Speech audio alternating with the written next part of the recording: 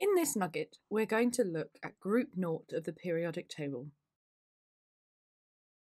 The groups on the periodic table are the columns, and they tell us how many electrons are in the outer shell of the atom. The rows of the periodic table are called the periods, and these tell us how many electron shells there are in the atom. Group 1 is known as the alkali metals. Group 7 is known as the halogens, and group naught is known as the noble gases. The elements in group naught of the periodic table are called the noble gases. The elements in group naught that you need to know about are the first three. These include helium, neon, and argon. The other group naught elements are krypton, xenon, and radon.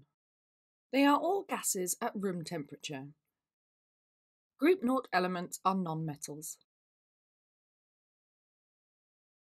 Helium has two electrons in its outer shell. This is considered full because it is the first shell and it can hold up to a maximum of two. Neon and argon both have eight electrons in their outer shell. Neon has its outer electrons in the second shell, and argon has its outer electrons in the third shell. There are common properties with group naught elements.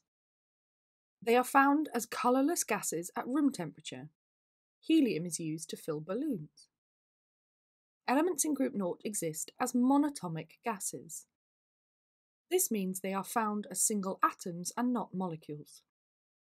Elements in group naught are non flammable. This means they won't set on fire easily. Elements in group naught are inert. They do not normally react with other elements to form compounds.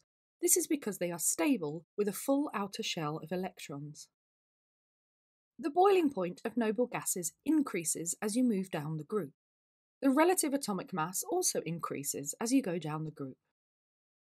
So let's have a look at a question. Helium has a boiling point of minus 268.9 degrees Celsius, and argon has a boiling point of minus 185.8 degrees Celsius. Predict the boiling point of neon. Neon is found between helium and argon in the periodic table. We know that the boiling point increases as you go down the group. This means it will have a boiling point between helium and argon. So if we add the boiling points of helium and argon together and then divide them by 2, we will get a figure that's in the middle of these two. So our answer is minus 227.4 degrees Celsius to one decimal place. The actual boiling point is 246 degrees Celsius. The calculation above is an approximation. To summarise, the elements found in group naught are known as the noble gases. Group naught elements include helium, neon, and argon. Group naught elements have atoms with a full outer shell of electrons. The properties of group naught elements include forming colourless gases at room temperature, being non-flammable and inert, and existing as monatomic gases. The boiling point of group naught elements increases as you go down the group.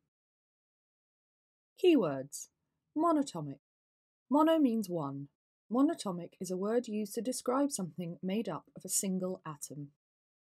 Non flammable. A substance that does not set on fire easily. Inert. A substance that does not normally react with other elements. Boiling point, the temperature at which a substance boils. Relative atomic mass, an average value that takes account of the abundance of the isotopes of the element.